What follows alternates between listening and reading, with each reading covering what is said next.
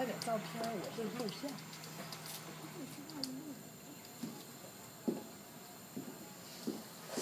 我是东海龙王。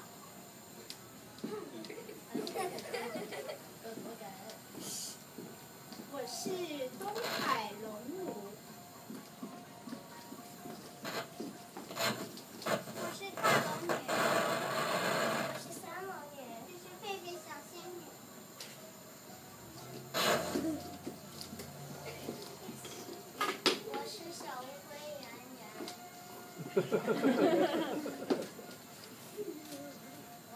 虾酱和和。我是花果山猴孙悟空。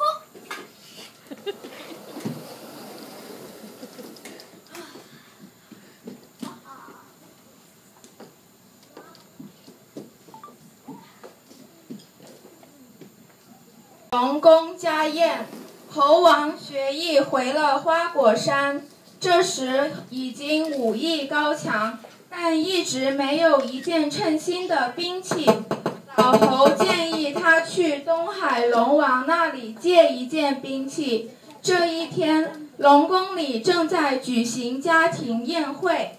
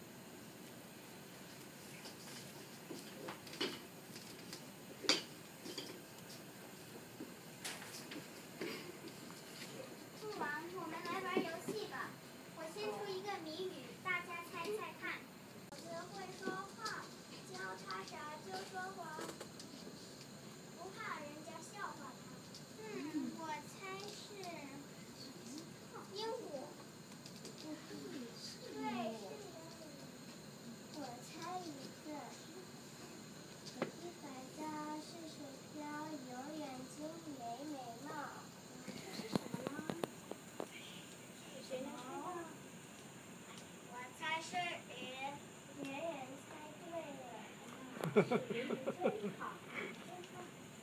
来下棋吧。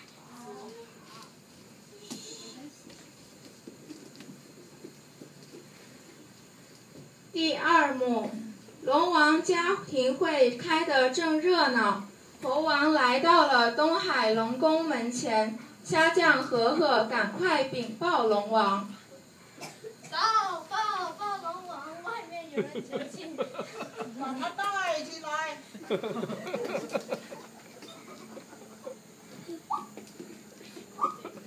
老爷爷，是我是我，我是花果山猴孙悟空。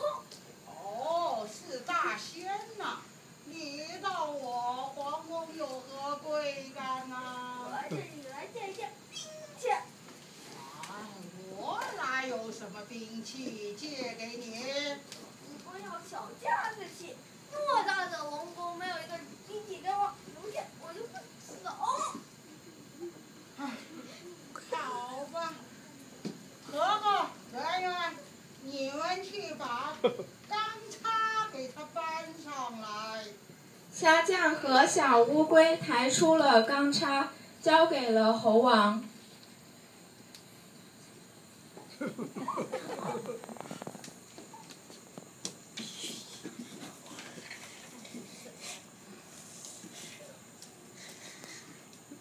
太轻，太轻！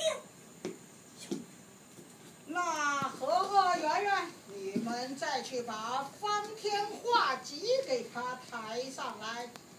虾酱和小乌龟又抬出了方天画戟，交给了猴王。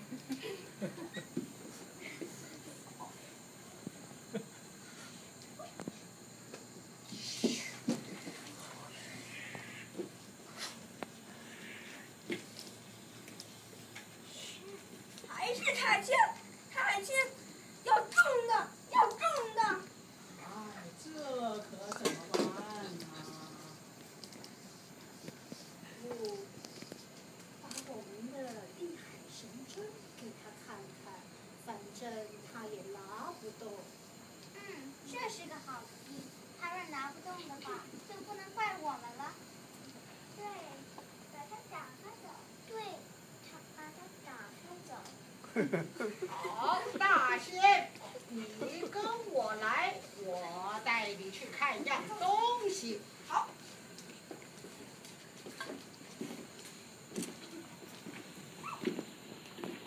第三幕，取定海神针。龙王把猴王带到一个地方，只见一巨大铁柱立在那里。大仙，你看，这是什么？这是我的定海神针，重三千五百吨。有这种好东西？对，如果你能拿得动，我就送给你。让我试试。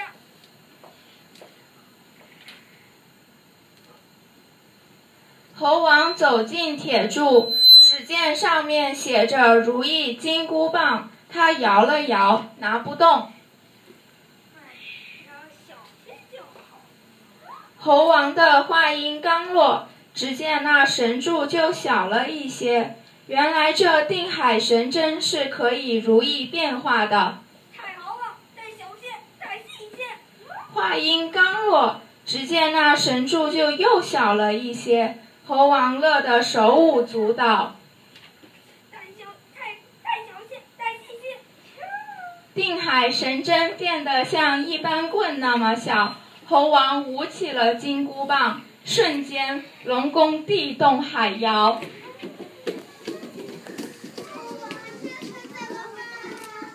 大仙，别舞了，别舞了，这宝贝你不能拿走。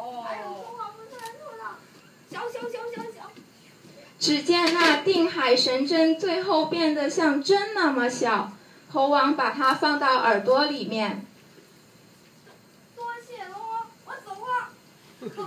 大仙，大仙，你可不能拿呀！我们怎么办我们？可不能没有定海神针啊！